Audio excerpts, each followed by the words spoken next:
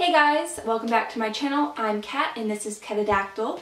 So today I have some really exciting news to talk about. Amazon is currently offering nine free Kindle books and the great thing is that they're all in translation. So this runs until World Book Day, which is the 24th so I'm hoping to get this video up today, which if you watch this video, you will have three days to get any of these nine Kindle books for free. So I looked up online books and four of them were just up my alley, so I got them for free and it is absolutely an amazing thing that Amazon did to promote works in translation.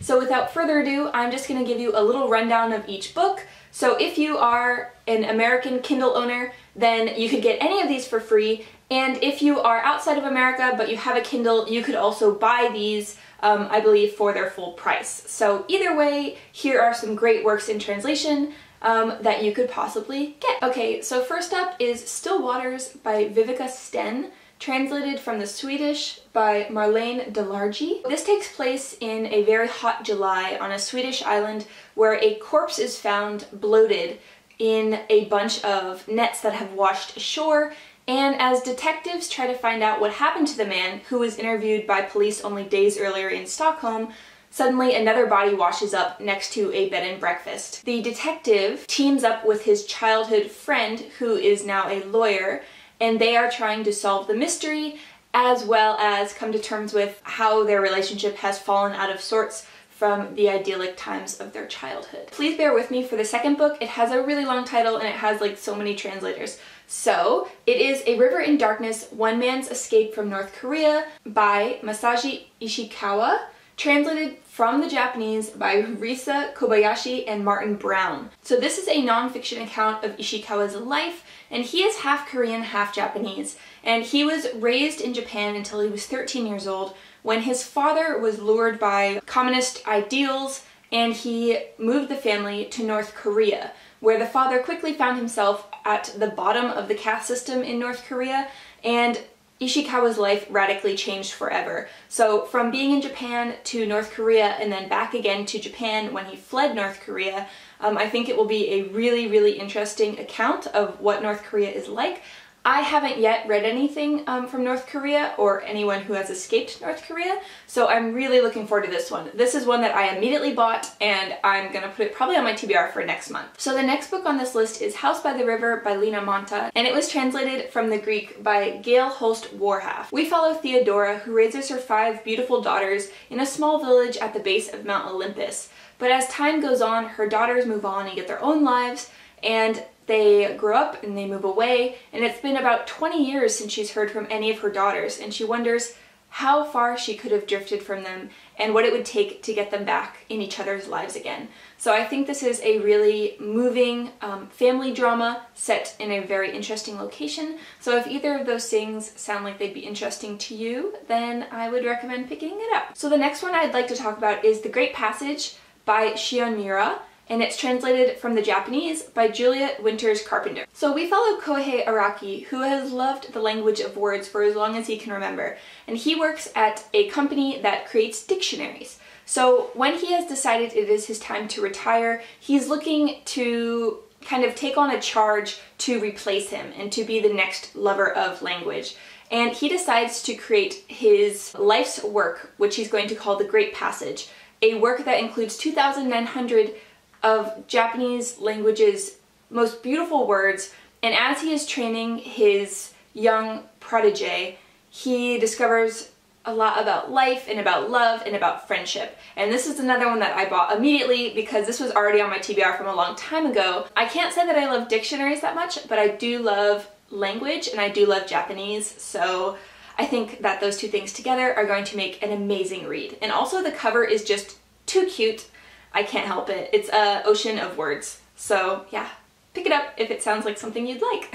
so the next book on this list is Last Train to Istanbul by Ayse Kulin, translated from the Turkish by John W. Baker. And in this one, we follow a forbidden romance between a woman who is the last unmarried daughter of a very um, prominent Ottoman pasha and a Jewish son of the court physician.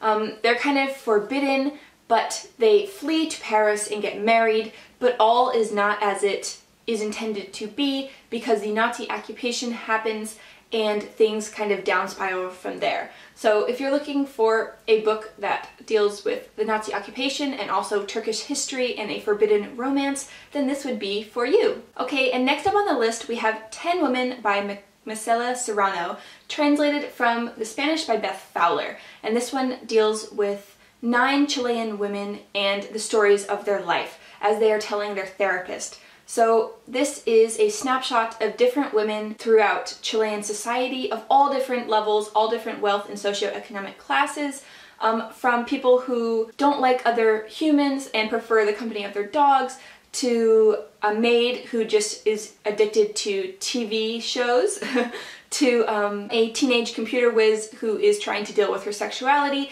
to people of the upper echelons of the class system in Chile. So if you like narratives that weave together a few common threads but have an overarching kind of theme of a society in general, I feel like this would be really an interesting read. Okay, so this next book definitely isn't for everyone, but it is definitely straight up my alley of maybe dark and gruesome and haunting. So it is The Grey House by Mariam Petrosyan, translated from the Russian by Yuri Machkasov, maybe? So students live in the Grey House but they are bound to wheelchairs and they have to use prosthetic limbs. They are the physically disabled of society which have been shunted into the house. And they never leave the house and the society that has evolved within the house is all that they know. Um, until the day that outside pressures from deaths that happen in the house um, combine to force reality to become unreal and time to no longer subscribe to clocks and watches. So this sounds like really a surreal, maybe dumb house type um, uh, reimagining. I don't know. I immediately bought it and the cover is also weirdly strange and fantastical. So if that sounds like something you'd be into, then I would love to buddy read it if anyone wants to read it. Um, I can't wait to see how the writing is. In general, I really love Russian fairy tales or the like because they are super dark and that is exactly the kind of thing that I am interested in. So next up on this list is The Question of Red by Laksmi Pamuntjak, who, and it's also translated from the Indonesian by the author. So in this one, we follow lovers who are caught up in one of the bloodiest communist purges that happened in Indonesia between 1965 and 1968 and it killed over 1 million people. Um, so if you're looking for a love story that may or may not end well and also deals with um, communist history as well as Indonesian history, then this would definitely be for you. And the last book on this list is The Light of the Fireflies by Paul Pen, translated from the Spanish by Simon Bruni. And this is another one that I'm probably going to give trigger warnings to just because based on the synopsis it sounds like it's going to be quite a read. We follow a boy who has lived his whole life underground in the basement of his house with his grandmother, his parents, his sister, and his brother.